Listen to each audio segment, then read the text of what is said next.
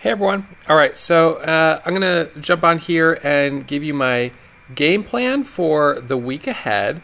Uh, thank you guys who are tuning in live to this. Appreciate you guys being here. And if you have any questions, um, you know, on stocks we trade last week or for what you're looking at for the week ahead, feel free to post those down below uh, in in chat. I'll I'll see them and I'll I'll answer those questions.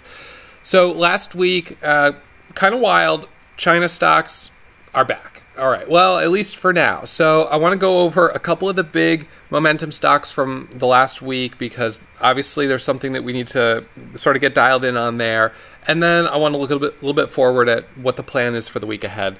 So let's see. Um, so typically uh, you know, each morning starts pretty much the same as you guys know. Uh, so last week, you know, every morning started the same. I log in uh, to the chat room. So, you know, those of you who are members, you log into the members dashboard at Warrior Trading. You click here to enter, and that pops up the chat rooms. And so you've got the chat rooms, and this is where you have scans and things like that. So you can look at the um, top gappers, which of course it's a weekend, so there's not going to be top gappers today. But you could pull up the scan. So I did that, of course, every day last week, and um, one of the things that I noticed on, I guess it was, um, uh, what day was it? It was um, Thursday.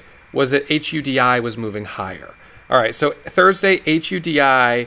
Um, I mean, this thing. So this hit a high yesterday of like 200 bucks. All right.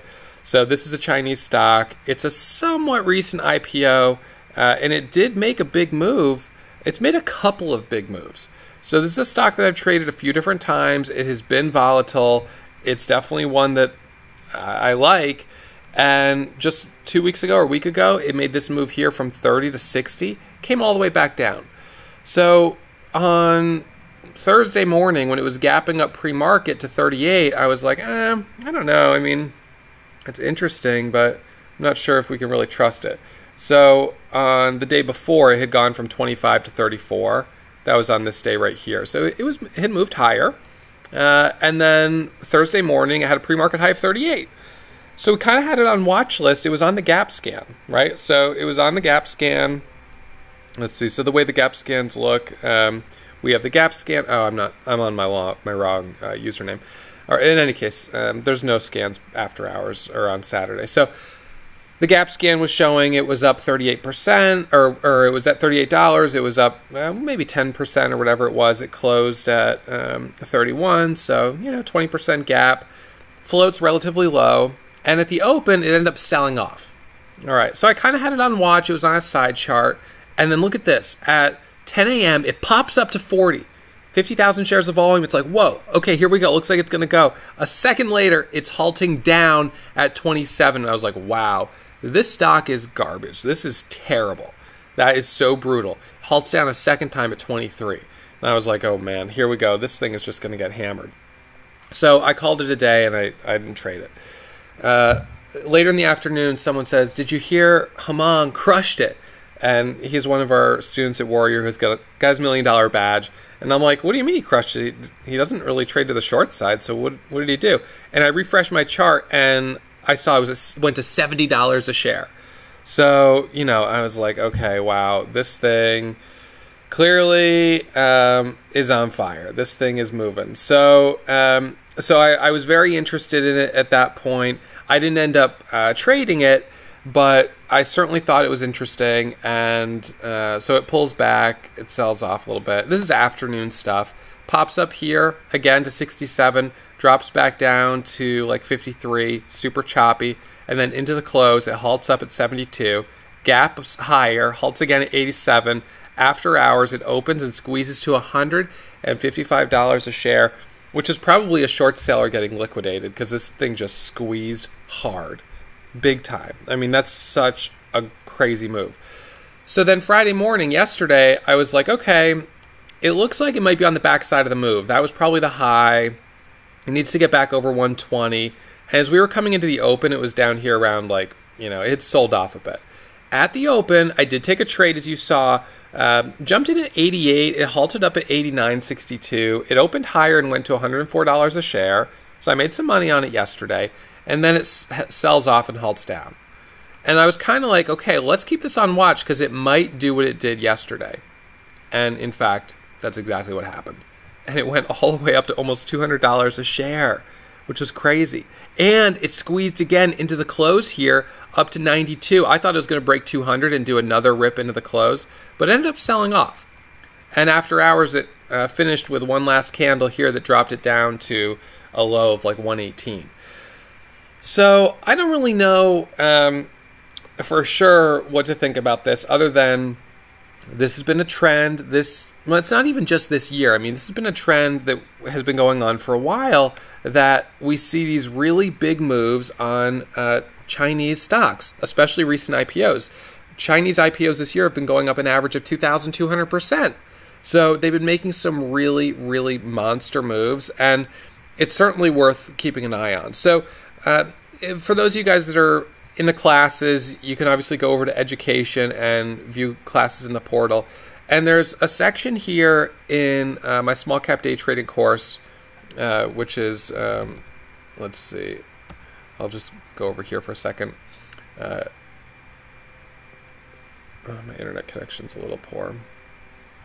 Um, I'll let's see if that'll load in a second.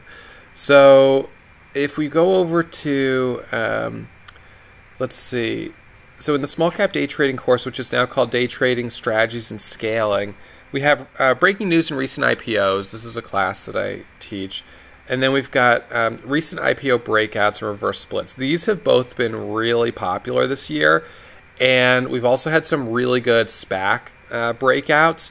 And what we're having right now is setup seven, the second day continuation. So these are patterns that we've, I mean, you know, I, I, have classes on all this. These are patterns that we've seen again and again and again repeat themselves over often. the years. None of this seven. is new. So when I see these types of patterns forming, like what we've got on um, HUDI, I certainly do get excited. I'm thinking, wow, okay, this has some potential. We could see a bigger move here. So these are um, sections of day trading strategies and scaling, which is uh, formerly my small cap day trading course. So you can see this is the curriculum. So uh, chapter eight right here. Um, this is where we get into trading the different uh, intraday patterns like ABCD pattern, half dollar, whole dollar breakout. But then when we get into uh, chapter nine here, this is where we're talking about the specific setup type. And so HUDI meets several of our criteria of being a stock that we would want to watch closely. It's a Chinese stock. We know that China stocks have some especially strong momentum. We're not always sure exactly why, but trade the technicals. And so we've had some really good action on these. It's a somewhat recent IPO. It has a pretty low float. It's second day continuation. And so, for a lot of reasons, I think it makes sense um, that it's something that we want to watch. So my thought on this is that um, on Monday maybe we get a squeeze higher. We'll see how it opens pre-market, and I'm not going to be one of those traders that's sitting here at you know 4 a.m. to try to trade early, early pre-market. I'll watch it during my regular trading session. You know, when I'm always trading between you know roughly 8 and 11, 8 and 10, and we'll see if it gives us some opportunities there. It's been more of an afternoon momentum stock these last two days. So that might not fit in super well with my kind of routine. You know, one of the things that I usually say is I know the time when I trade the best. I know when I am most aggressive, when I am able to produce the most profit.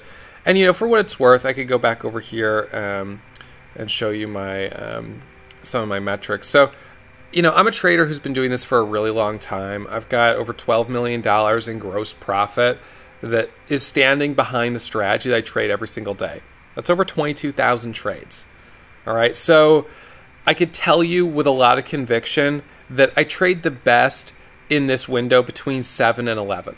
And I really try to avoid trading later in the day. It's not that I don't, but it's that I generally don't find that I'm net profitable. So you could see, obviously, my distribution of trades at this point is predominantly uh, early right? Between 7 and 11. That's when I trade the most because I know that's when I make the most. But I still trade between 12, 1, 2, and 3.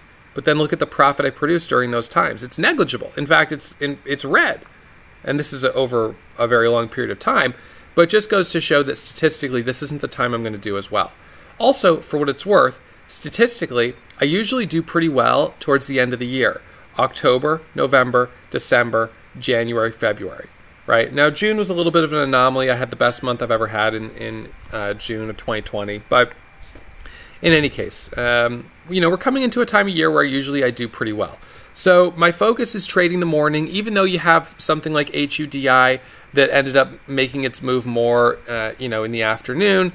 That to me feels a little bit, um, you know, by itself like it's kind of it's just not typical that that's when we would see these big moves. Usually we would see them uh, earlier in the day. So if it just happens to be continuing at that time. And also for what's worth, I've made the most money on stocks generally under 20 bucks. So, and this is millions of dollars. So when we start to get into the higher price range, you know, 50 to 100, I'm not saying I haven't made money there. That's a quarter million dollars. That's half a million between 100 and 200.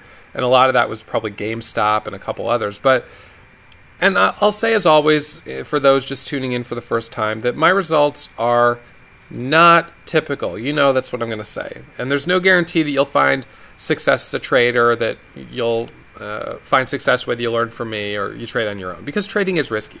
But I share this with you because I want you to understand that there's a, a, a, method to the madness. There's a reason why I'm focusing on trading during these times of day in the morning and avoiding afternoon stuff. There's a reason I avoid stocks of certain price ranges. It's because I have the data that is guiding those decisions. And so some of you guys, you know, for what it's worth, are trading without that type of data. So you're doing a little bit of shooting from the hip. You're just kind of doing some guesswork of, uh, this is kind of what I think other people are doing or what other people, you know, find success with. So I'll do that. And, and that may not be working for you, or maybe it is, but you might not even really know what what is working and what's not working. So I, I would definitely encourage you to um, you know to focus on trying to get yourself dialed in with some metrics that support your strategy.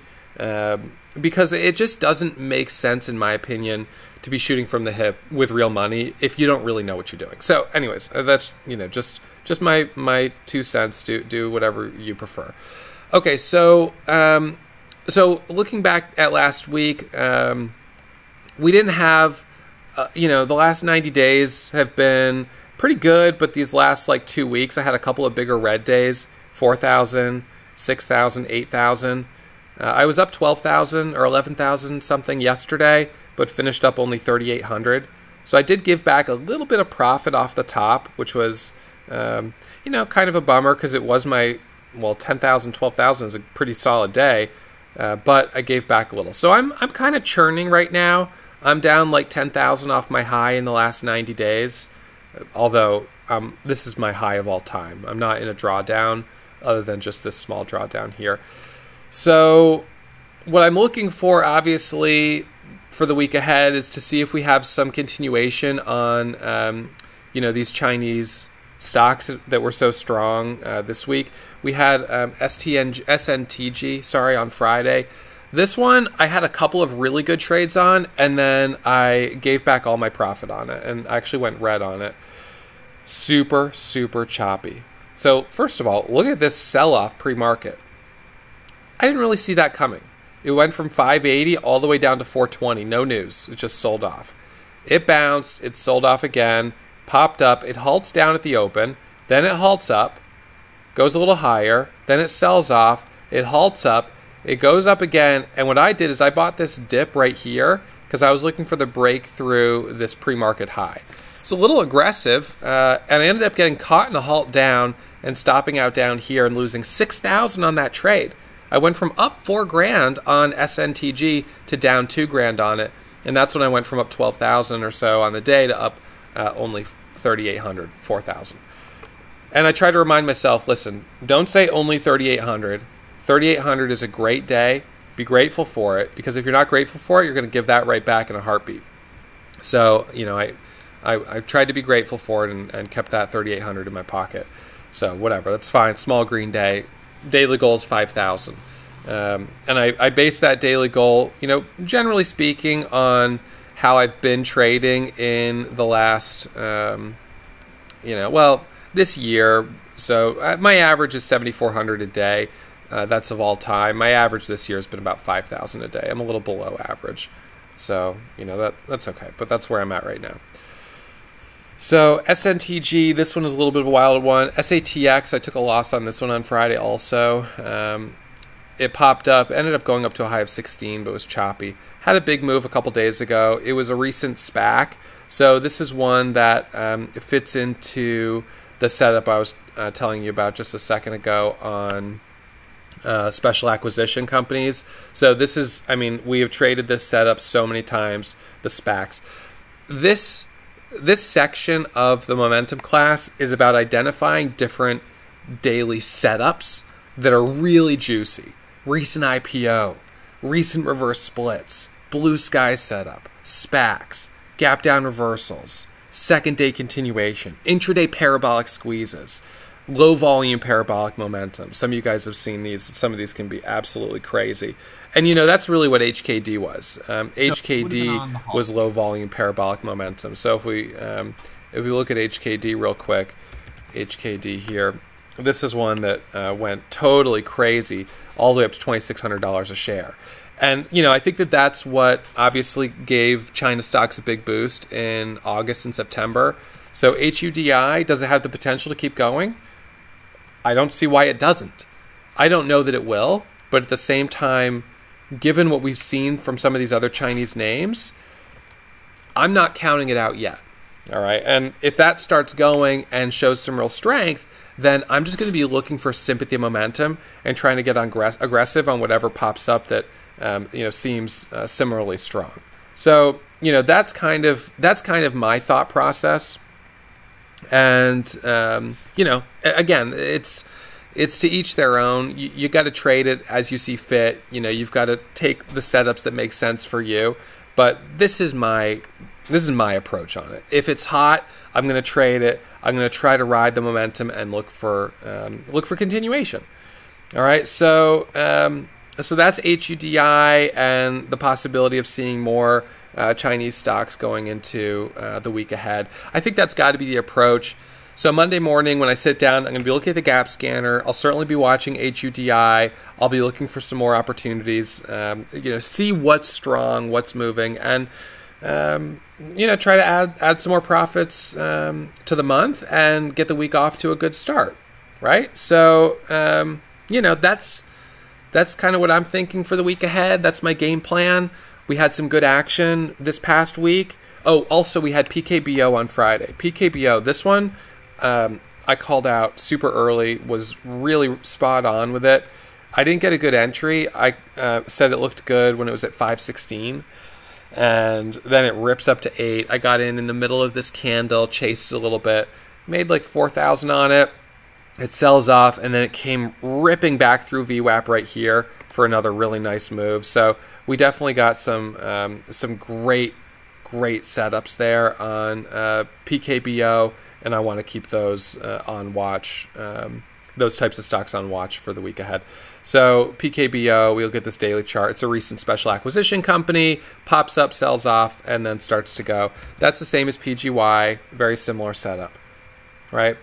Special acquisition company sells off and then starts to squeeze as it goes higher. So, you guys know my plan uh, for the week ahead. I'll be um, trading as always um, for members in the chat room. So, I'll be streaming uh, right here. Those you guys that um, want to join us, you're welcome to join, but I'll also stream the morning show on YouTube. I try to put out a lot of free content. And I can tell you right now, for those of you guys tuning in on YouTube, there is a surplus of information out there on trading. I mean, there is a tremendous amount of information out there, more than any one person could possibly consume. So, your job as someone out there that wants to learn about trading is to try to figure out how you're going to filter all this information to only let yourself consume what is really going to help you and support you in your learning. My strategy is not for everyone. The way I trade is not for everyone. The tools I use are not for everyone.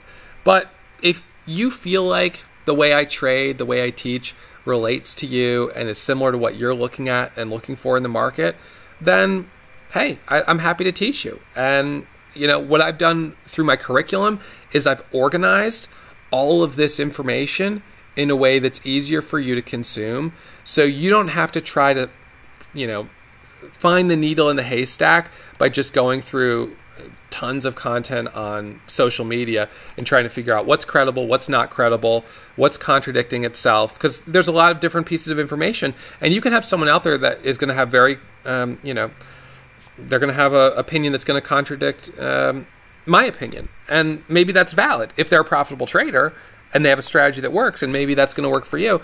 But if they're not profitable, then it's just noise. So, you know, you got to make your own decision. Um, I do have this content organized in a great way, and our members love it. It's not free. And, you know, that's the way it is. So, you're welcome to be a member of the community. We are a members only community over at Warrior, uh, but if you don't want to, that's fine too. A lot of our members uh, right now continue their membership because they value the educational tools the chat room, the simulator, the scanners, and charts coming soon. So that is probably um, an equal, if not greater, value to the classes. And as you guys know, we're changing our um, our membership structure. Uh, we'll, we'll, be releasing the new uh, the new lineup. I think it'll be next week. So we're changing our pricing. Uh, so you'll see that. But it's um, the new pricing is a one time membership fee, and we'll have three different tiers of membership. So it's a one time membership fee that'll give you access to the classes, and the prices on the membership fees are going to be a little different than what they are now. And then members can subscribe to whatever tools they want. So if you want the chat room, you can subscribe to the chat room. If you want the scanners, you can subscribe to the scanners. If you don't want any tools, you don't have to subscribe to anything. You can just be a member and have access to the classes. So we're trying to make it a little bit easier there with a one-time membership fee uh, to the community, and then just paying for the tools that you use, the market data, etc. Uh, and for those that uh, for those that understand, obviously, this for me is a tremendous amount of cost to maintain this system, uh, this software, and everything else that we've built out. We've got a fantastic development team that has been working really hard. They're, we're working on building out charts. So, charts are what are um, coming next for our members. Uh, so, we've got the scanners, we've got charts, we've got our simulator. And, you know, through all of that, you know, the amount of money that I pay in uh, market data fees and in Amazon server fees, it is astronomical. It's huge. So, you know, this stuff isn't free. And if it was free, that would be a very different story. If, if it cost me nothing to provide it. But I would probably need to duplicate myself about 20 times, 30 times, uh, have, you know, 38 clones, and some of those clones would need to be really, really good developers and really, really good at IT because I just couldn't possibly do everything myself. And even if I did, then, you know, what do you value your time at? So the choice is obviously yours, whether you want to trade on your own or trade with the community. And listen, I have no problem with you guys consuming as much of my YouTube content as you want. I put lots and lots of stuff out there on YouTube. I want you guys to enjoy it. I want you guys to learn. But uh, at the same time, we're talking about day trading.